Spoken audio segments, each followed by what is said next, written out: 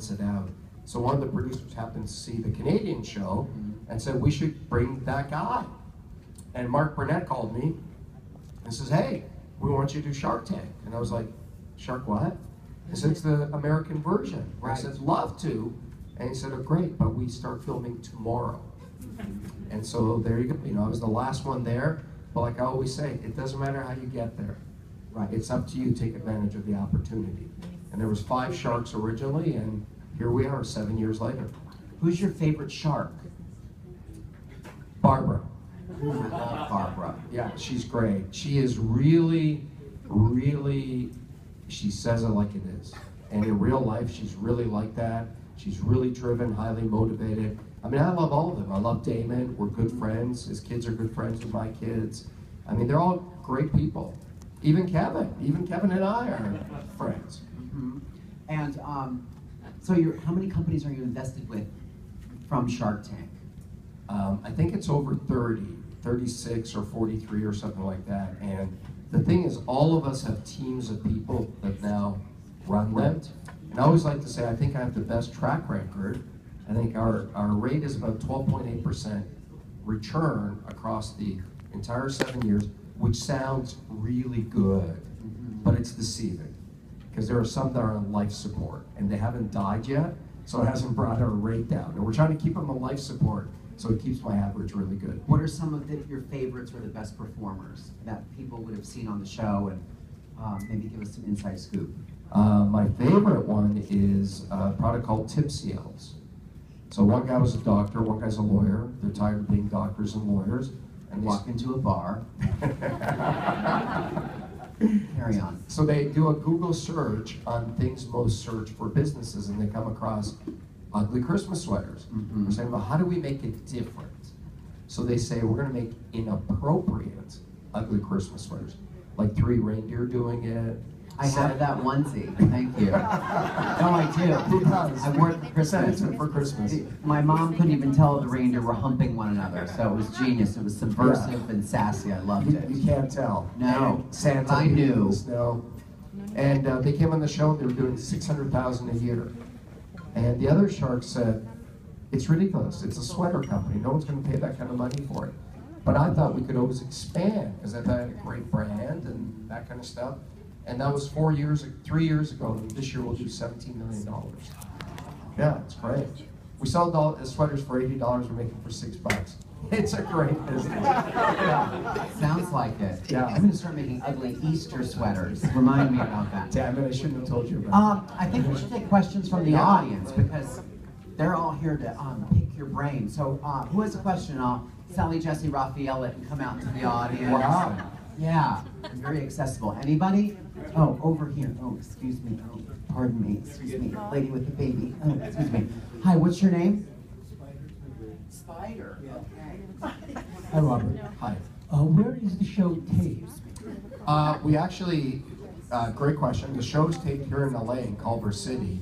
What people don't realize about our show is we're the highest bought show on network television. ABC bought 35 episodes last year. To give you an idea, the average network show is 12 episodes, like Dancing with the Stars or uh, Law and Order, and it takes three months to film. We're 35 episodes. How many days of filming do you think we do? Now it's 17, which is really low. When I was on Dancing with the Stars, and so was Carson, I filmed 75 days in a row. I was out of my mind. And I'd never read the contract. I thought, 12 episodes, how long can it take? 75. Mind you, on Dancing with the Stars, you get to hang out with Kym and, you know, Kym Johnson, and Shark Tank, you get to hang out with Kevin. It's not, not the same. But it's all filmed here. It's a great show. We film eight days in June, nine in September. We never film more than three days in a row because we're not very good. We're not actors. That's what people don't realize. It's, oh, you're so good on TV. And I'm like, it's just me. And people are like, is Kevin really that mean? I'm like, it's just Kevin. we never film more than three days in a row because we can't act. What's funny now, because it's such a big show, we get invited to all kinds of other shows, and people invite us, and then they give us a script, and they realize, oh my God, they can't act. How do we ask them to leave now? So, um, yeah, great show. Do you realize that the average pitch in front of us is an hour? So, no matter when you watch it on TV, it's seven to eight minutes. The longest pitch was two and a half hours. Daymond got up, left, went to the Sony cafeteria, had lunch, came back, the guy was still pitching. True story. Shortest pitch was 40 minutes. No matter how long or short, it gets edited into seven to eight minutes. Wow. We know nothing about them. Literally nothing. And in fact, when you get on the show, there's a, there's a box there that says, Have you ever met any of the sharks? And the only time we stop filming, because it's very live, is if one of us recognizes somebody who pitched this before.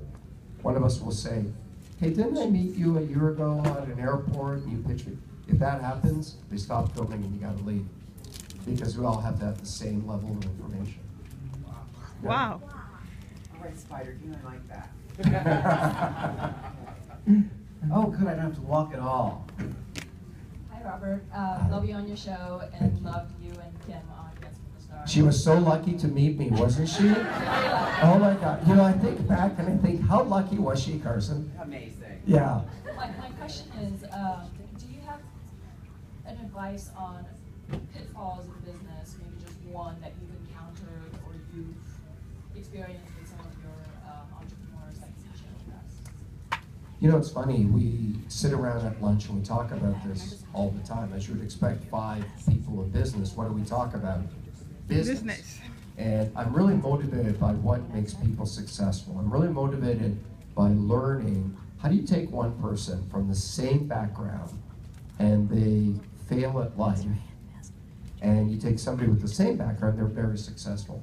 And, and especially because I think in this country have more opportunity than anywhere. Like, like I, I have no family in North America besides my kids. All my family's back in Eastern Europe. And to them, America, like they talk about America like some fairy tale land. They really do. They say, oh my God, if I could get to America one day. And so what makes somebody successful? I think the one thing that we agree on is when people fail in, in business, it's typically their inability to absorb failure.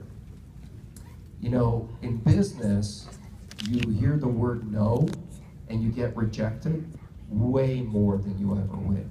And so it's your ability to adapt. You know, like the Tipsy Elves guys that I told you about, we were doing good with the ugly Christmas sweaters, but then we were doing so good, a lot of competitors came in. So we changed. Now we make onesies, like Carson said. We now make ski outfits. We now make St. Patrick's Day, you know, sweaters. Great entrepreneurs adapt to the situation. They have the ability to see the wall before they hit it. Arbor Day sweaters. That's just an idea. I, no, just trying to expand the market. Thank you. Hi, what's your name? My name's James. Where are you from, James? I'm from LA. I'm a huge fan, Robert. You're great. Thank you. Um, quick question. So, um, I'm interested in starting like an enterprise software company. And like when you started your business and you got the first meeting and you pitched and you went well, how do you close the sale? You offer a free trial. How do you get them to you know sign on? And when people say, who else is using it? You don't have any of the clients yet. How do you answer that? Wow, so some great questions there. Um, so sales is not about pushing somebody to something. You know, the, the key to enterprise sales, the, the great thing about enterprise, enterprise sales means selling to big companies as opposed to consumers. And the thing I love about enterprise sales is when you start a company out of your basement and you want to sell to consumers, your challenge is leverage and reach.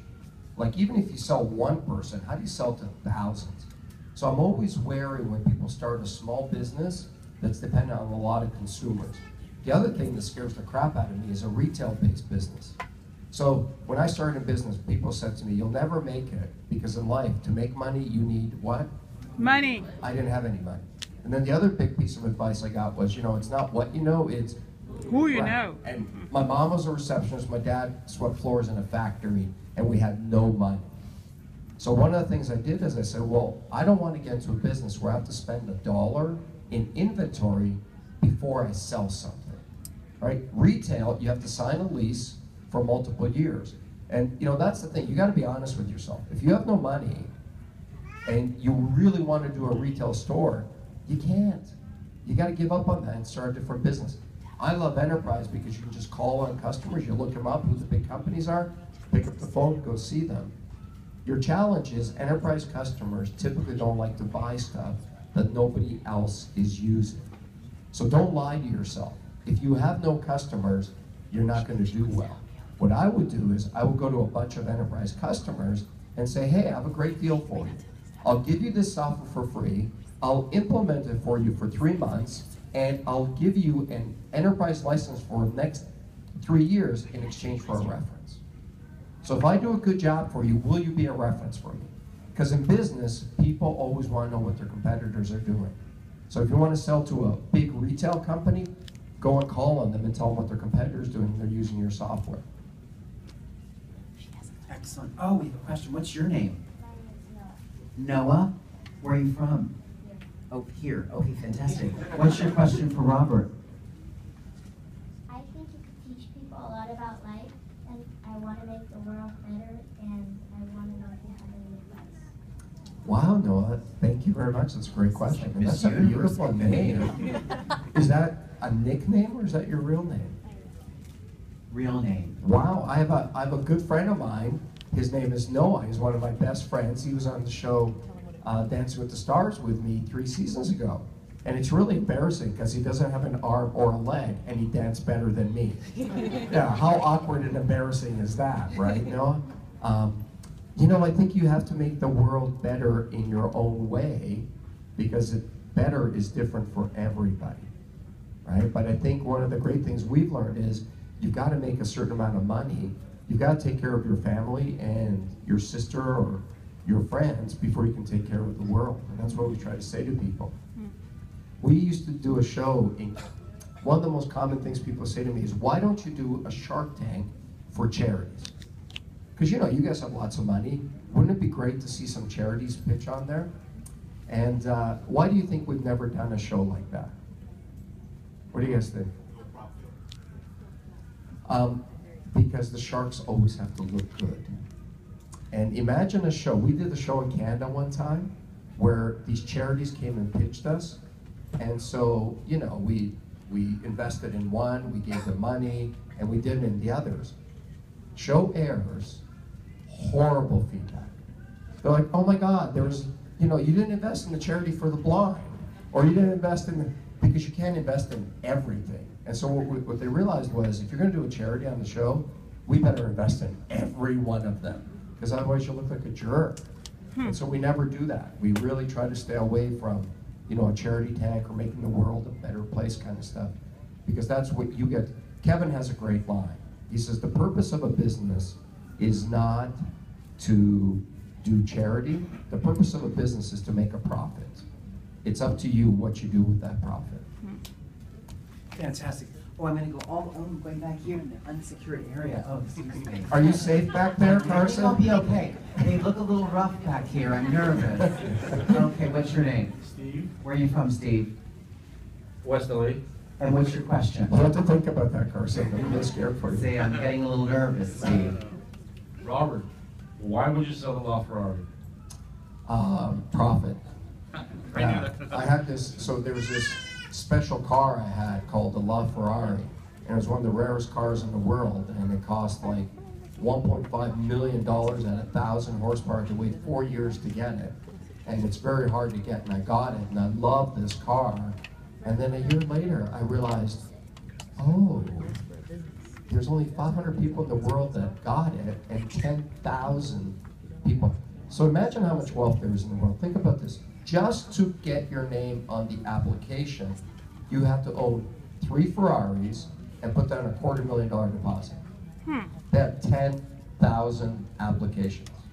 Wow. And I got one of them. And a year later, I was like, it's a really cool car, but I wonder if I can make a profit on it. And I did, and Ferrari hates when you do that, so they kicked me out of the Ferrari family. But I recently got back in, I had to go see the Pope, and, uh, you know, put a bunch of money in a brown paper bag. Really? Give it to a guy named Enzo under the table, drink a lot of espresso, but I'm back in the Ferrari family. Wow. I hate when that happens. Happens to me with uh, Mitsubishi. Blonde. What's your What's your name? Um, my name is Gillette, like, you know Gillette Razor? I was named after Gillette Razor, so my name is Seriously? Gillette. Yeah. Oh, wow. So, yeah, um, actually, I'm from, I'm im- immigrant. I came from the Philippines 10 years ago. And what, what's your advice to those immigrant or the people who came from different places to achieve American dream or to start all over again? How, what's your advice for that? Like how to start business, get to resources, or have a good connection for those people who already came from other country or states? Thank you. Well, here's the great thing about America. Nobody really cares where you're from. Yeah. They really don't. You know, nobody cares. The the greatest thing, you can take this as good or bad. What I've learned is nobody cares. Nobody cares about your pain, and nobody cares about your success after it's done. Now that's good and bad. The greatest thing about that is if you can add value, people will give you an opportunity. That's what I love about business in America is if you can create something that saves people money Hmm. or can help their business, they will buy it. And when you're young and you're starting out, this is very empowering. But you get older, like my age, you realize nobody cares. Like I sold the first this thing called a firewall in North America. I go see customers now and they're like, who cares? What can you do for me today? And so it depends on what your attitude is. The fact that you're an immigrant, the fact that the person next to you comes from wealth, nobody cares. And so the thing I always say is, the world doesn't owe you anything, just an opportunity. Somebody worked really hard for you to come here. And I think especially as immigrants, it's up to you to make yourself successful. And I don't care if you want to do it for yourself. I don't care if you want to buy a Ferrari or a jet or whatever. It doesn't matter. But you owe it to the people that work their behinds to get you here to make something of yourself. And, and you know, I've always really believed that. The only other thing I'll tell you is what I learned a long time ago is I used to think, oh my gosh, that person has it easier than me. Or, you know, they come from wealth or their family helped them. What I realized was, who am I complaining to? No one's listening. Not even my dad. He's like, ah, who cares? Get it. Right. So the what I always think the great equalizer in life is 24 hours.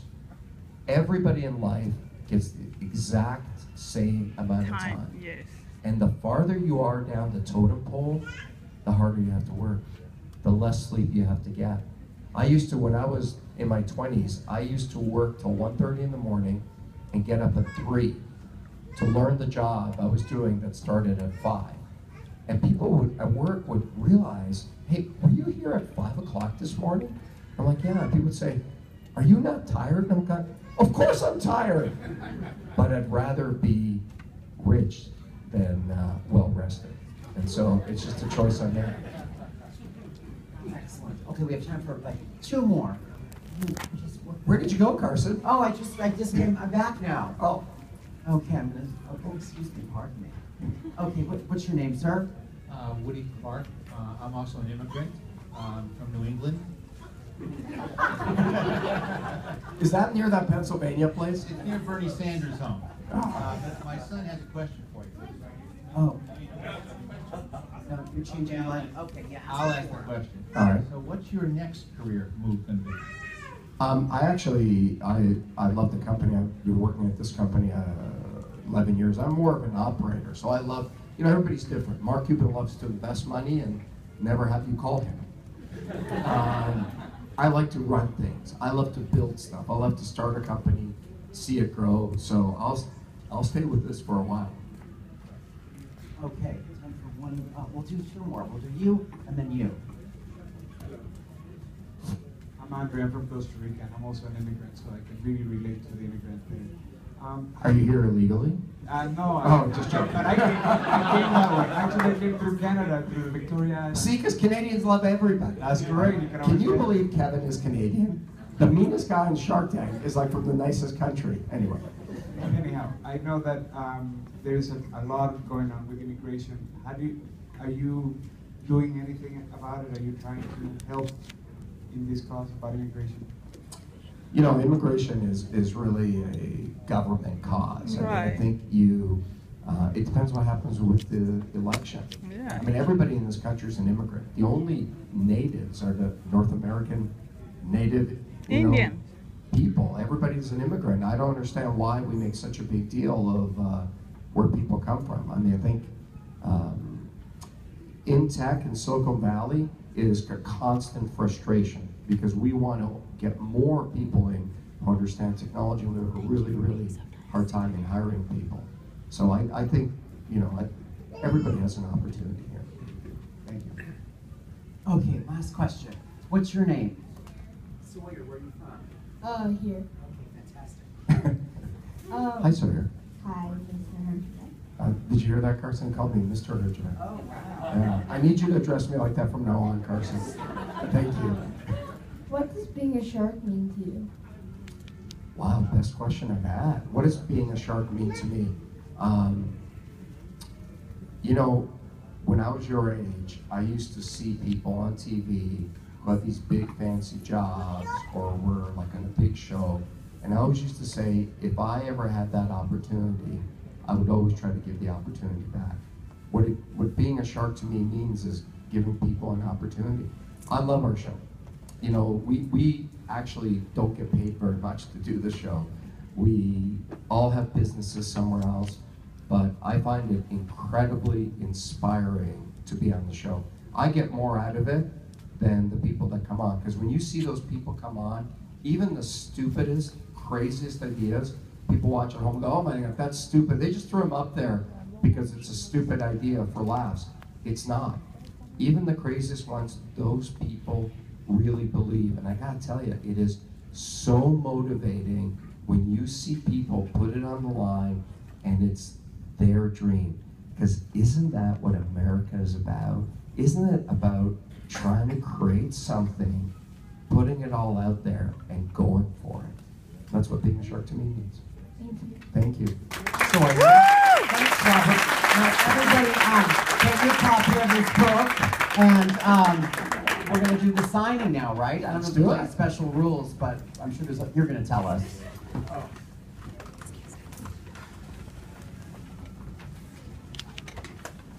Can everybody hold up their book so Robert can see how many people purchased this book tonight? Everybody here has the book. Now, what we're going to do is bring you up one at a time, one row at a time. So if you're in the back, we will let you in as soon as we get everybody seated. You must have the wristband, you must have the book. You can take pictures of Robert, but not with Robert. All right, so we're going to pull you up one row at a time.